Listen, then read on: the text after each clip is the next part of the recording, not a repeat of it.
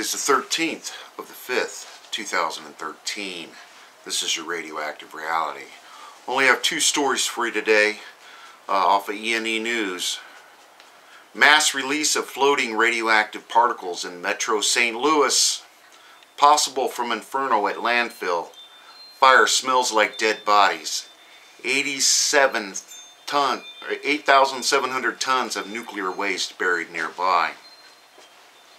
An underground landfill fire near tons of nuclear waste raised serious health and safety concerns. So why isn't the gov government doing anything more to help?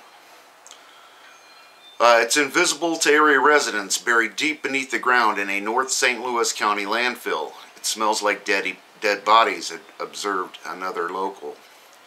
About 1,200 feet south of the radioactive EPA site at the fire at Bridgeton landfill spreads out like hot barbecue coals, and no one knows for sure what happens when an underground inferno meets a pool of atomic waste, but residents aren't eager to find out. At, the, at a March 15th press conference, Peter Anderson, an economist who has studied landfills for over 20 years, raised worst case scenario of a dirty bomb, meaning a non-detonated mass release of floating radioactive particles in Metro St. Louis. Quote, now, to be clear, a dirty bomb is not a nuclear fission. It is not an atomic bomb. It is a weapon of mass destruction. It is not a weapon of mass destruction. Anderson assured meeting attendants at Bridgeton's uh, Machinists Union Hall.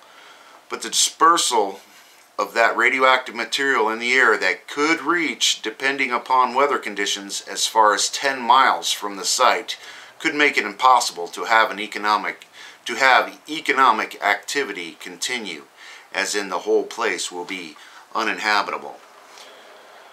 Outside of St. Louis, the other story, leaking strontium-90 is boiling the material around it at U.S. nuclear site, eating through the tank liners. Now this is at Hanford.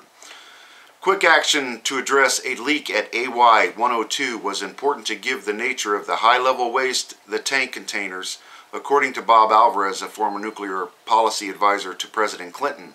A tank, uh, a tank AY-102 contains massive amounts of nuclear byproduct strontium-90, more than any other tank at Hanford.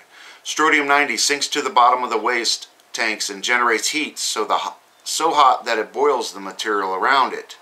Quote, it's been known for over 50 years at Hanford that high heat loads at the bottom of the tanks cause them to leak and crack.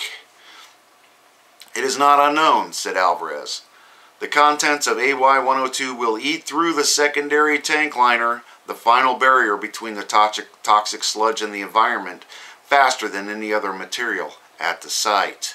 And ongoing uh, leaks going on at Hanford it just continues. The truth comes out and comes out. This thing is ongoing. And I am almost sure in the Columbia River. So heads up. Um, that's about all I have for you today. Uh, enjoy while you can. Thanks a lot, everybody.